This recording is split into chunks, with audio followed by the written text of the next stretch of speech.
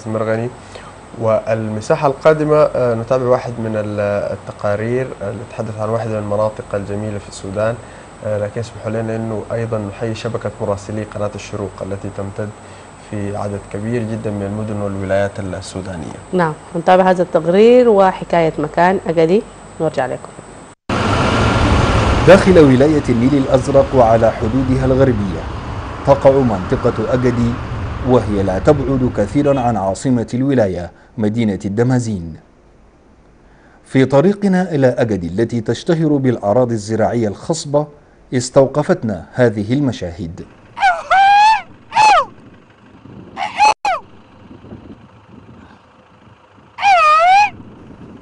يشكل الرعي مصدر رزق لكثير من أهل ولاية النيل الأزرق وعلى وجه الخصوص سكان المنطقة الغربية التي تبدأ بقرية أجدي فالمنطقة تعتبر منطقة زراعية ورعوية. أجدي قرية صغيرة تقع تحت سلسلة من الجبال عرفت هي الأخرى بجبال أجدي. فالقرية أشبه بأن تكون قرية سياحية وتزداد جمالا في فصل الخريف. وهنا وكعادة أهل السودان وجدنا احتفالا بإرث وتراث أهل المنطقة.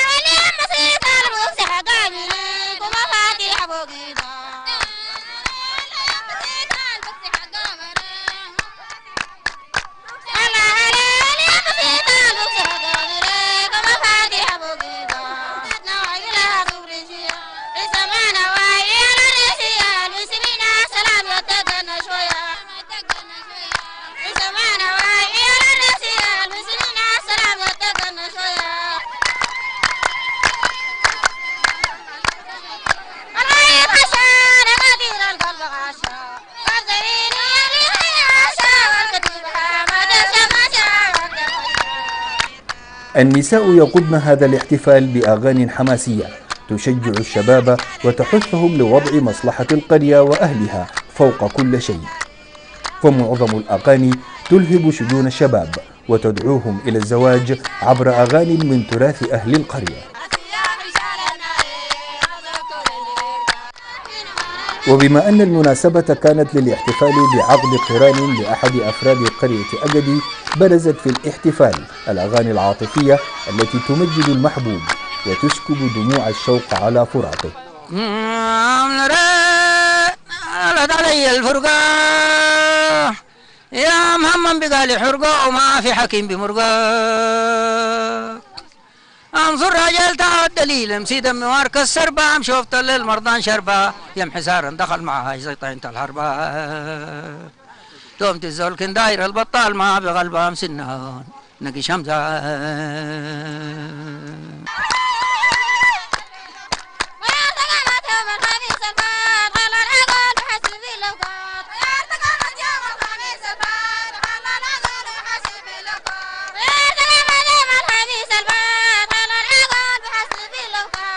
رابحة محمود استلهمتها أغاني الفخر والإعزاز بالأهل والعشيرة. كانت حاضرة للاحتفال. تغنت لكاميرا الشروق.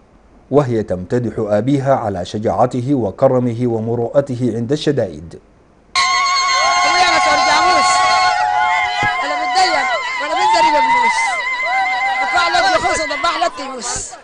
كان جيت لقيت ضيفان باركين تحلب تقولنا فيه ده أبوي أنا. ورجب أبو محمد ده جانا صد الحدات هنا ولقاهم قلت له ديوانا في الدري القوات المقابله الحرب كاتب قالت القلب القوات المقابله الحرب. رجب أبو محمد ده. لم نتمكن من التجوال داخل القرية بسبب ضيق الوقت وكنا نخشى أن يحل علينا الظلام حال مقادرتنا لمكان تجمع أهل القرية. الريف الغربي اسم أطلقه أهل ولاية النيل الأزرق على مجموعة القرى التي تقع غربي الولاية فهي منطقة تعايش وسلام عرف أهلها بطيب المعشر والتكاتف والتعاضد.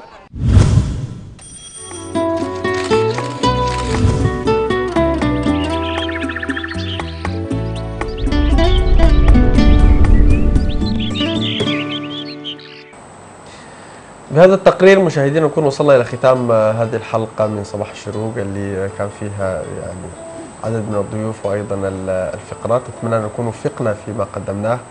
وكمان نحب أن نقول دائما آه، ختاما تقبلوا تحايا فريق العمل الذي سعدنا ونحن ننقل جهده شكرا أحمد شكرا كل مشاهدينا. ولا تشبه أحدا يكفي فقط أن تكن أنت. هي رسالة لكل الناس اللي بيتابعونا. إذا الواحد استغر بذاته أكيد حيبدأ. في حياته شكرا. للمتابعة وفي أمان